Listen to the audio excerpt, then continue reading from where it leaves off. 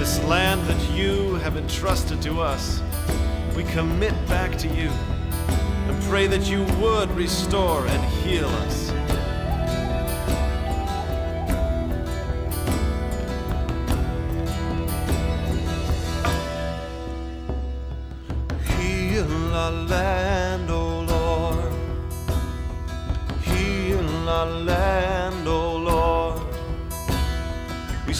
Guard and pray in the power of your name. Heal our land, O Lord.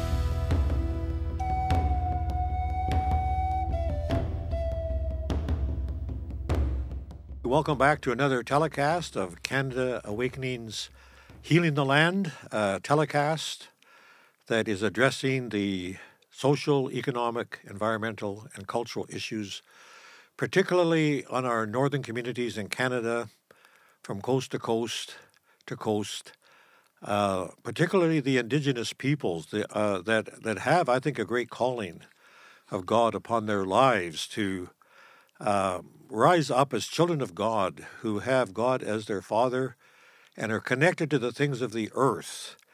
We talk about Mother Earth. Uh, the masculine and the feminine actually come together in Christ so that we can form families that have both a father and a mother that will reflect the Creator who created humans in His image as male and female. And so, um, we know that in every nation, in every community, apart from a relationship to our Creator, we think in terms, well, somebody has to be the head of this.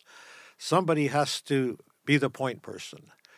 And that's true in the natural. But if we understand that there is a head, there is a Lord over all creation, over all nations, uh, Jesus is called the desire of all nations. He is the Lord of all nations. He's the Lord of all creation.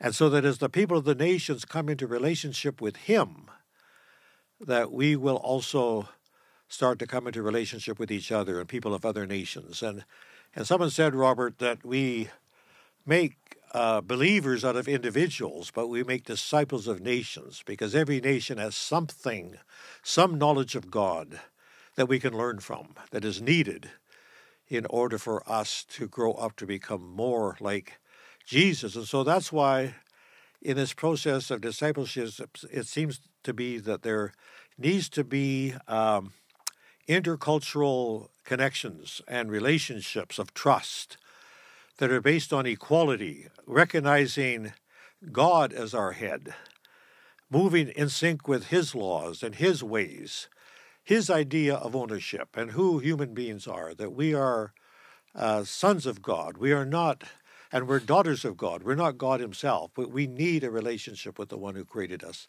And so, um, to see this vision that we've been talking about the last couple of episodes come to pass, the, the, the importance of partnerships between indigenous and non indigenous churches, especially, uh, to address these problems because we all carry something that the other needs. None of us has it all, but we need one another equally, and we need a relationship with the one. So, so I, have seen this in your writing a fair bit about the need for partnerships, and and I'd like you to explain a bit about what you see that the indigenous peoples carry that the rest of the church needs, and also what is in the rest of the church that indigenous peoples need. So we need to partner and share our strengths in ways that we can go places we've never been before. Yeah, thank you. Well, uh, you mentioned about the, the culture. Uh, we are a multicultural nation in Canada, uh, but there was only one cultural group that is segregated, and that Indigenous people. Mm. So, uh, I take them as kind of a distinct because you know somebody distinct is that stands out. You know, the, there's a cultural group here. There's only one group that's standing out, the cultural group, and that's Indigenous people. So um, we were placed in this uh, country called Canada. We were the original, the first inhabitants, uh, and we believed in a creator. We believed in God. At some point, we had a personal relationship with the Lord. At somewhere along the way, we kind of just drifted off. Uh, so now, again, going back to the Deuteronomy 28 chapter, where it says the foreigners will come and take things away from you.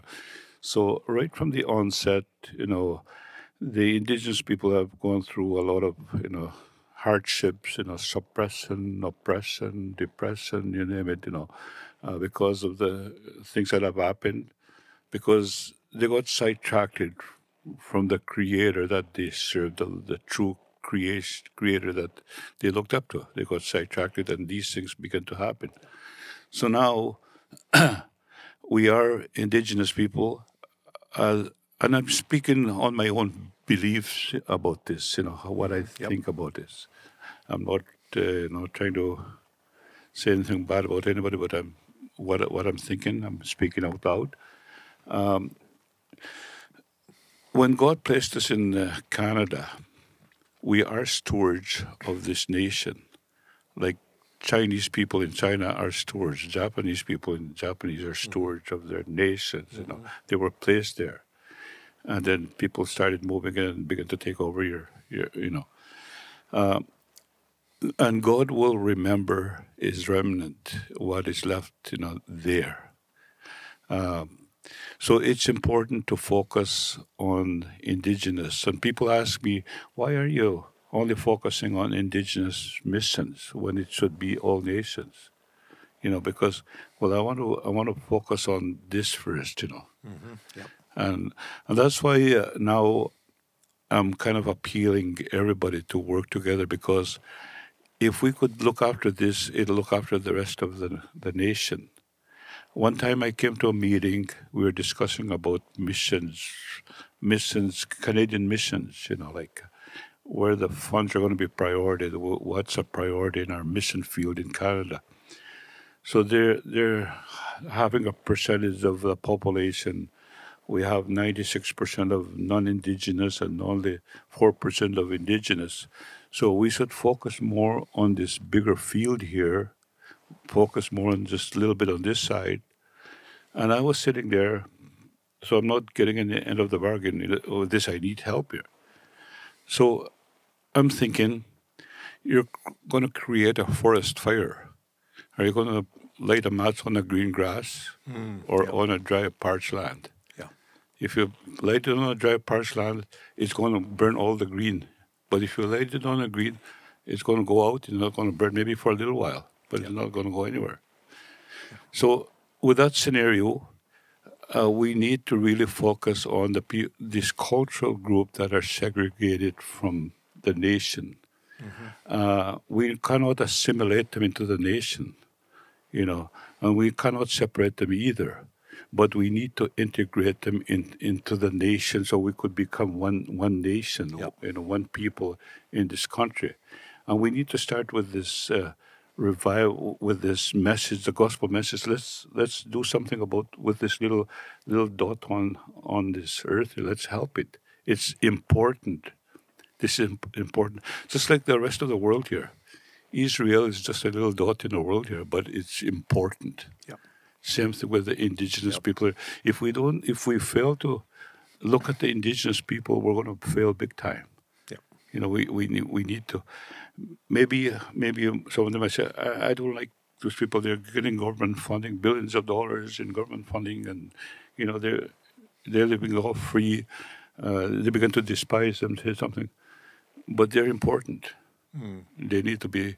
They need. We need to do something together, as a whole. You know, to come. Let's do something for this in order to help the rest of Canada. Yeah. That's how we're going to bring about the healing of the land is going to come into the rest of Canada. Yeah. You know, if we could only focus, if you know this, this these communities, and and our people are teachable. Yep. Uh, but we don't have any resources. We kind we, I myself cannot teach them. You know, I, I do my best to teach them, but I can only do so much. Yeah. And um, it seems like I am running out of time, but I am not running out of time because God is still going to do what He's going to do. If He cannot get, get attention from the rest of the people here, He's going to bring another nation to bring, you know, fulfill the, this, this, you know, mission that is happening. Wow. Yeah. So as I read the Bible, I see that, you know, in the early church, they taught, the apostles taught that God did not leave himself without witness in any nation. That there was some, even the fact that he made the sun to shine on the evil and the good, and he made the rain to fall on just and unjust. No matter how you behaved, he loved everybody. He showed to the people of all nations that he was a good God. He, he, he even loved his enemies, Yes. uh, unlike many human beings. And so um, he did not leave himself without witness. Uh, even in the world of nature, it was evident that the one who created these things, the one who sends the rain, the one who sends the sunshine, um, was good to all. Yes. And, and we can trust him uh, to be the one to look after our needs. And uh, as I also look in the 17th chapter of Acts, I believe it is, that it says he decided the boundaries where he mm-hmm. placed different mm-hmm. people mm-hmm. with different languages, different cultures in different parts of the earth. For what purpose? That they would seek him Yes. right where they live.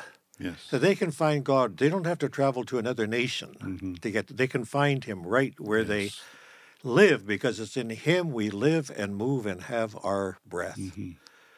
And so we're encouraging people here to seek the Lord right where you live, Yes. right in the community where you are. You can find Him. He's not far from every one of us. hmm That's true. He's as close as our breath, and our heart, and our mouth. Yes. And that's why our the beliefs of our heart and the words of our mouth are so important. That we come into alignment with His will to bless our community and say, Yeah. God, show us Yeah. what we must do Yes. in order to be healed, hmm Yes. because He's the only one that can do it. Yes. Yeah. So, uh, yeah, we we we need to come together. Uh, that brings to my attention about the the, the issue of uh, truth and reconciliation. Yeah. You know the the wrong that has happened to the indigenous people in the education system. Uh, uh, the, there was a truth brought out. You know, for the first time, the outside people never heard about what was going on. Never heard it. Yep. Uh, so they're probably stunned to you know to, to hear what has happened. Uh, so there's a truth that came out, but now the reconciliation needs to come. Like, let's get back together as one and you know enjoy each other. So which is good, but uh, to me, I think uh, you know, I think the government is also to be a, to be a part of this major play. Is uh, you know, like I mentioned earlier, uh, I think the true reconciliation would be to to bring the people together, um, like to integrate the people into the society by not feeding them anymore, but you know helping them educated, you know, to so they could become part.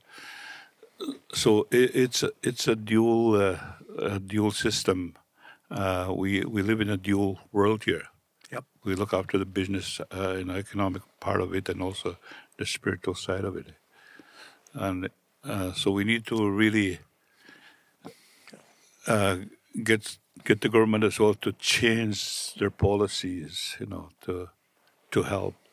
Uh, like right now, I think I mentioned, I don't know if I mentioned, uh, there's a lot of funding provided for cultural programs and uh, land-based programs where people are trained, our young people are being trained to be a trapper and a fisherman, and you know, uh, we're living in a modernization. You know, like we're living in technology.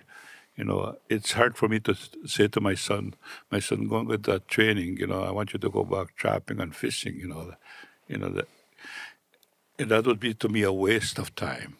When I said, when I would like to see him, we need more funding on technology. You know, it's been advancing. We need to equip, you know, my son more into this. I would like I would say.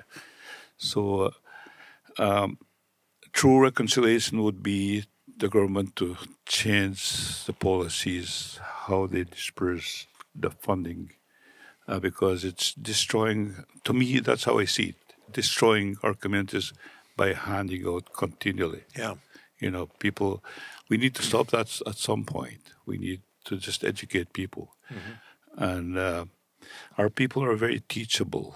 They will learn if you if you allow them to learn. They're teachable because I taught I taught them. They listen. The people that you think would never learn, I've learned and I've worked with me. Yeah. Yeah.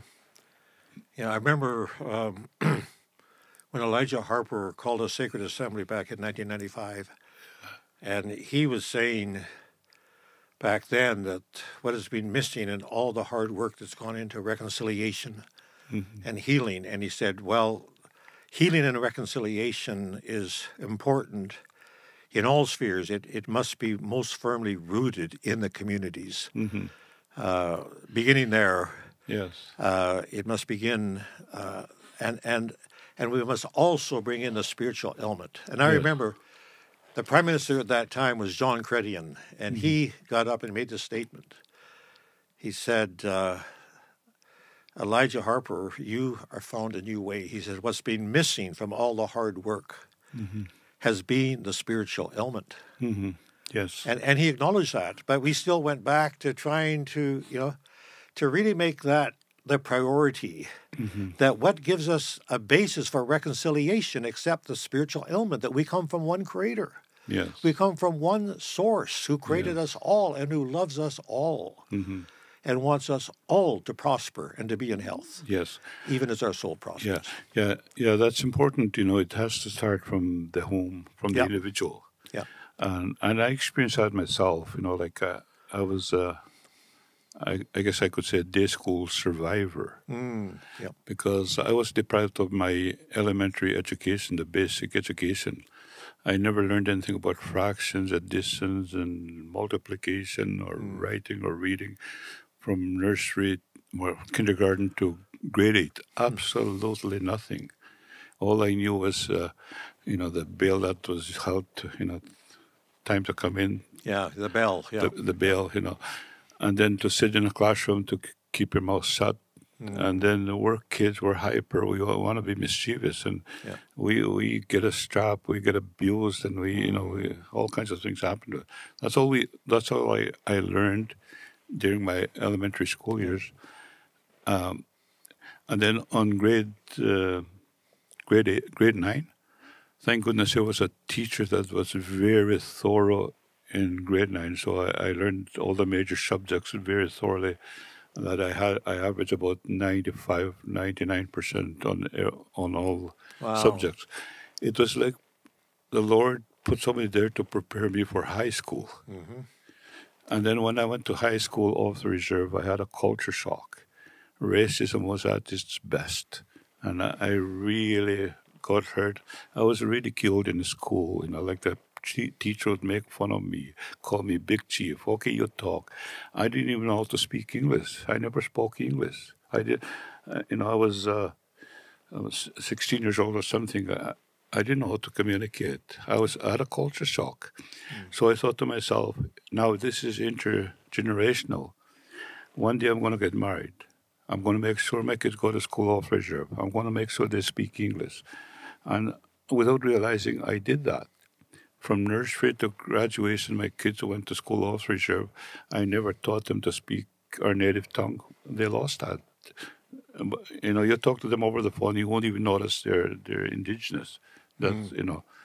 Uh, wow. So because of intergenerational, and myself, I began to study real hard in school because I was shocked. I was jolted.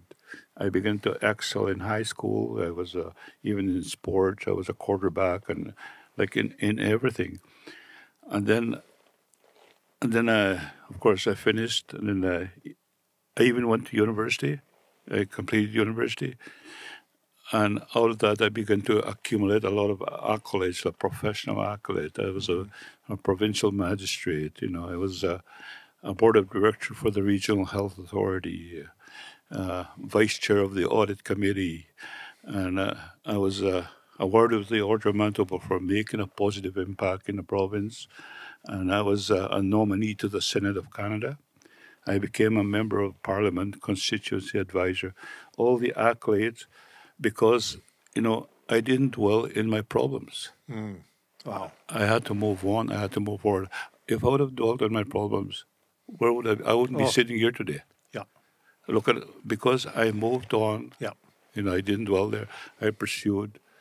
Look at look at where we are today. Know, today I'm appealing to the Canada, you know, yeah. to help, you know, yeah. to do something. And you are a great role model now, so yeah. that in times of crisis, yes, and we can look into this on another episode perhaps, but like when the, at the Waterhen yes. crisis, where there needed to be a, negotiator that could put down and settle down those that were ready to take up arms to yes. fight, you were able to bring peace into a situation because exactly. you experience peace in your own heart first yes. and foremost that you could bring peace we need leaders like you yes. robert yes to rise up who can be honest and admit where there's injustice and not side with injustice yes but do it in a spirit of peace yes that's the sort of leader we want yes. to raise up we want yeah. to see disciple we're going to go further into this in uh, our next session but right now we'll take a quick break and we'll be, we'll be right back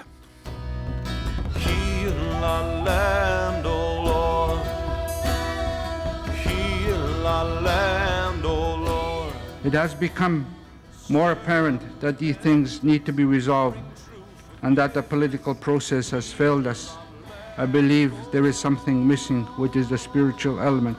It is the children of God that'll carry the message to the political powers of this continent and other continents in order for them to understand what we must do as human beings in order for us to be healthy again. Establish your kingdom throughout this nation and heal our land,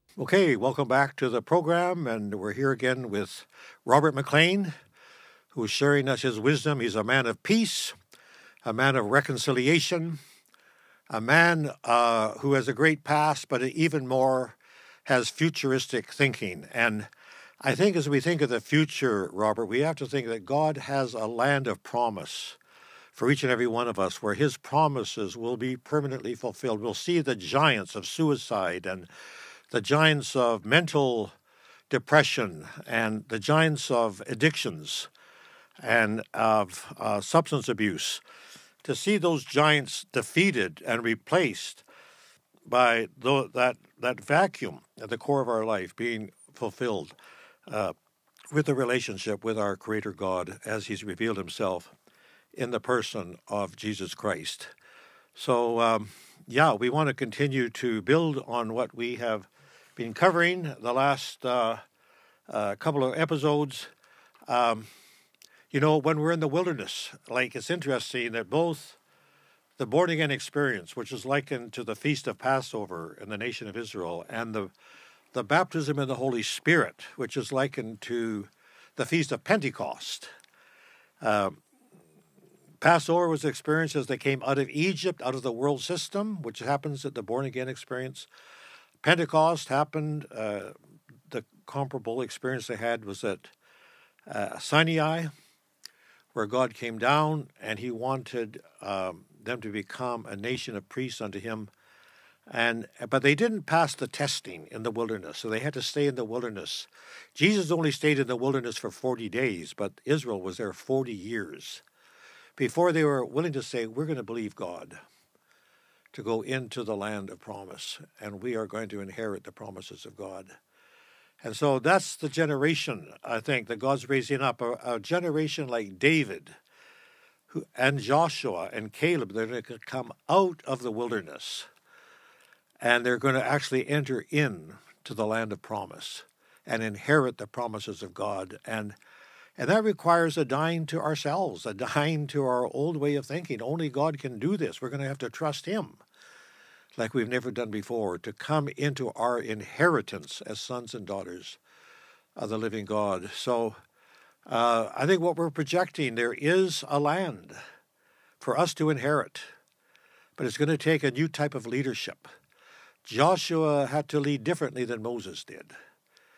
And and we were raised in a generation that saw God move one way, and your son Marty will will do things differently. But we have to bless that generation and see them, see that generation come forth with a fresh new prophetic anointing that will release God's word to this generation, that they will actually go in to see the promises of God fulfilled, where whole cities, whole communities will be set free and delivered. You've seen a measure of that in your lifetime, but there's still a greater fullness coming of, of inheriting the promises. There is a land before us. We, we want that to be an encouragement to the people listening.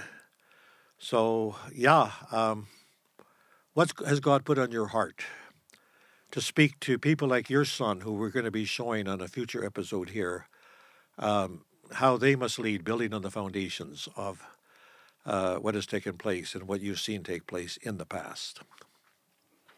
Yeah, thank you, Roger. Yeah, I think uh, it's very important to. Uh, you mentioned about uh, dying to self. Yeah.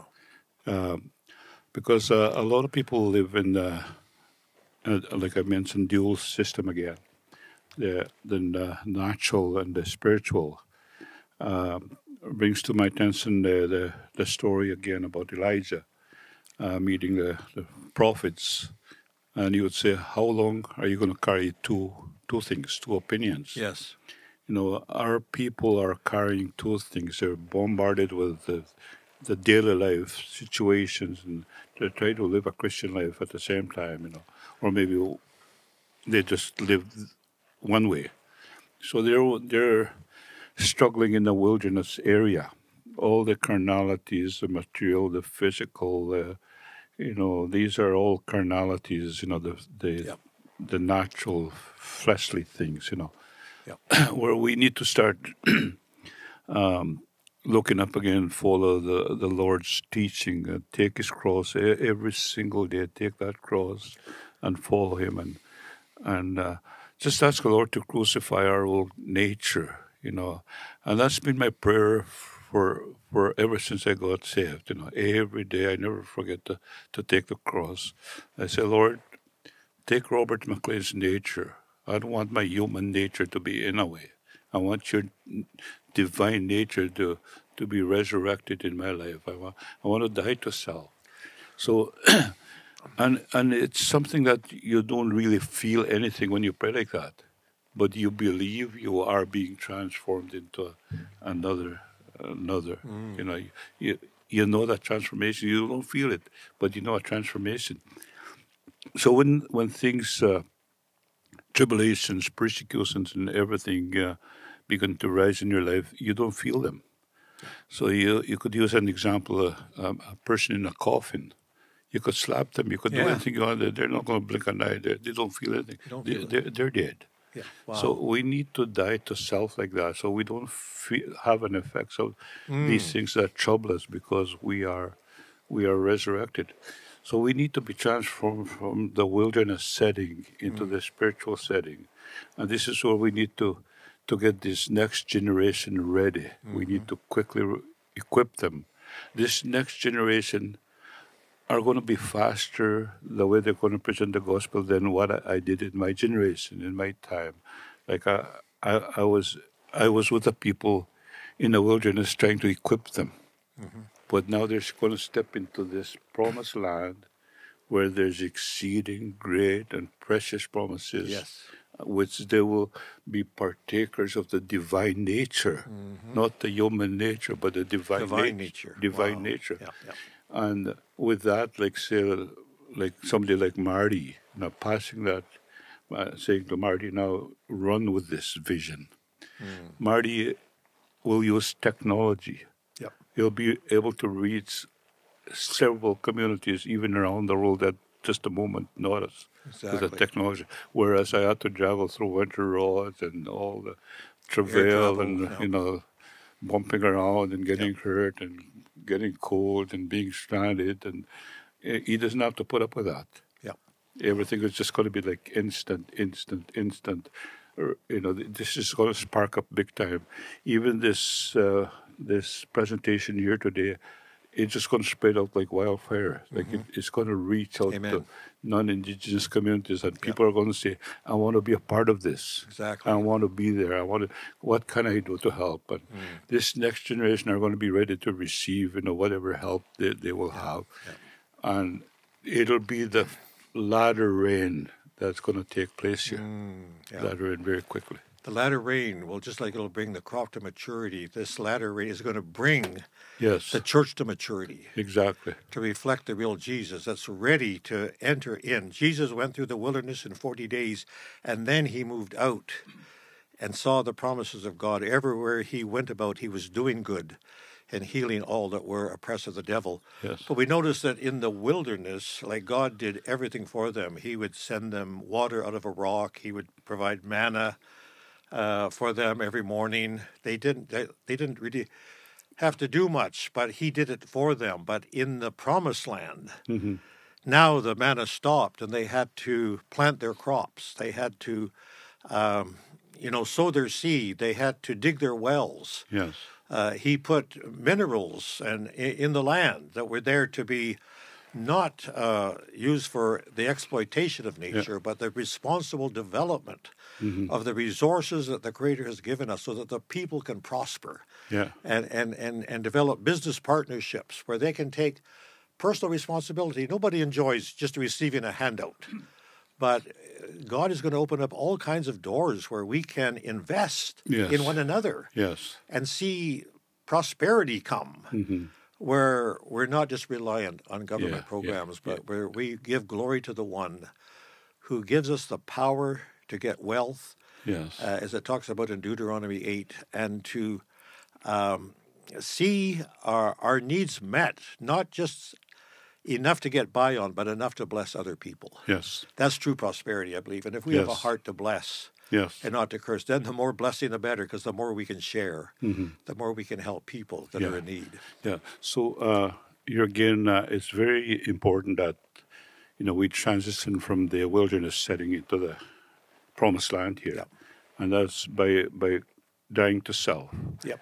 uh, like here when I, I, I picture myself on this side and I'm moving over to the other side. Uh, of all the years I've been uh, discipling and, and equipping uh, communities, you know, the leadership that I put together at one point began to turn against me, you know, like viciously. But as a leader, you gotta you gotta love you know the good and the bad. You cannot just have favorites. No. Even the worst ones, you you gotta embrace them and pray for them and Amen. love love them. If you're gonna be a leader, you have to love everybody, Exactly. regardless. You know, otherwise you're not a leader. Exactly. So now, in my lowest moments, when the ministries began to desert me because of the defamation and all the trying to ruin my reputation, like this is an enemy at battle here, but I don't feel them because I'm dead. You know, Ah, I, I don't feel anything. Uh, Hmm. when somebody, when there's strife, divisions, those are immature things. Those are baby stuff. You outgrew everything when, when you're you know when you're dead to self. You outgrew everything, so you see beyond them. You still love those people. So in my lowest moment, all by myself, I, you could feel it too, eh? Like, and that's when uh, I, mentioned to you one point at one time that I had a call from this lieutenant governor that I was awarded with the Order of Manitoba Yes. Yeah. uh, in my lowest moment, you know, when when the enemy comes in like the flood, the Bible says the Lord will raise up a standard. And then, while I was being defamed, the Lord raised up a standard on me, and and honored, honored. me honored me with the the highest honor the province can give to its citizen. And now, when I go to the Ledge, I walk around on the second floor. I look at the plaques, you know, people that have died, that have accomplished you know important things are on the plaques on the wall on the second floor. I come to the last one, and there's a plaque hanging there and says Robert McLean. And my name isn't there. Hmm. And I thought, I thought only dead people were on a plaque. well, I am dead to self. Yeah. You know. Yeah, yeah, yeah, yeah. So as long as that plaque is hanging there, people could slander me, could defame me, could talk about me. God has put something, you know, like a seal, you know, because you're dead to self. Yep. It's important for people to learn to die to self so they don't feel those things that come against them. The Lord has put you into a land of rest. Yeah. You're resting. Powerful. Powerful. You're resting. Wow, so good. Yeah. So it's important. I stress that uh, our people learn to die to self every day. Amen. Yeah. Amen. Because unless that happens, when we get treated unjustly Yeah. and um, unfairly, uh, the temptation of our flesh is always to return evil for evil, and that's how we see justice. Exactly. But I think uh, where indigenous justice is needed more and more in our society is over against the the British system, which is a punitive system of justice, Yeah. returning evil for evil, which causes people then to lie and not to tell the truth, because if I tell the truth, I'm only going to incriminate myself. I believe that in the indigenous world, the goal is to see restoration of relationships. Yes. And to do that, we need leaders that will even love their enemies, that will not take, that become unoffendable, and that will love even those that have um, said things that are unkind, because we know that each one will still be accountable to God for their words and for their actions. But uh, but he's we can trust him to bring about justice. But our our role i- as ambassadors of reconciliation is to pray for all people, to love all people, Yes. to be like Jesus in this present evil world, returning good for evil instead of evil for evil. Yeah, that's right. And and that's the sort of leadership that the enemy has no uh, weapon against that can prosper. And because we know that the righteousness we have is not our own righteousness. We receive the gift of righteousness as a gift. And and but but uh, it's his righteousness, and so we can let him be our righteousness. He can be our defense. He can be our vindication. We don't have to even try. God's dealing with me about this, and He's speaking to my own heart about this. To stop Yes. trying to justify yourself, and even explain to people how right you are. No, God wants to establish us all in a relationship of righteousness. Right, yes. In our next episode, we want to get into the power of words Mm-hmm. and speaking words, how powerful they are in operating in the type of authority that will Mm-hmm. shut down the powers of darkness Yes. and allow the kingdom of light to rule and reign in our Mm-hmm. communities. So don't miss that. Uh, you've some powerful things to share, Robert. Anything you want to just leave us with before we we, we sign off for the, for this particular episode? I think uh, I would be looking forward to uh, the next sessions we'll be doing uh, on uh, the power of the tongue. Yeah. People need to understand the power of the tongue and also the even the mind, you know, how you think. Uh, we need to start using that because we're using them the wrong way. Yeah, We, we need to learn that and we need to tell the world. yeah, And that's part of the the transformation, you know, to, to an, another level, if we could only do that. So, what you're going to be sharing in the next episode is absolutely powerful. Please don't miss it. Tell your friends and neighbors to tune in to next week's telecast because it's going to be a key, a vital key, to seeing true transformation come. The power of blessing is greater than the power of cursing. Let's be those who bless and curse not. Thank you for tuning in today, and we'll see you again next week at the same time. God bless.